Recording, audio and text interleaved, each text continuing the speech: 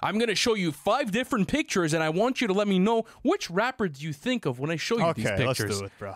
First picture, we got some corn. So who am I most likely to find in a cornfield? Um, give me G-Eazy. Yeah, I think I hate to do the- it to him, but I think that he's probably the corniest of the Tom rappers. McDonald has to be in that conversation for sure. Yeah. Okay, next picture for you. This one's very interesting. A picture of a werewolf. This meme is fucking goaded. Oh, Which one are you going? To... Um, I feel like I'd have to go. This is actually a tough one. Give me. I feel like destroy I feel lonely. like someone that's more melodic though, like someone that's always like sad. Give me Post Malone. you would go with a Post Malone. with Post Malone's Malone. music gets you sad. Yeah. It's a bit weird. I'm not gonna lie to you. Anyways, let's keep going on with this. Let's go on to a plate of chicken wings. Which rapper do you think of when you see a Rick Ross, bro. It's got to be Wings- Ricky Rose. I mean, with, with all the Wings- Wingstop franchises that he's got, I mean, the Lemon Pepper freestyle. Come on, bro. It's got to be Ricky Ross. fucking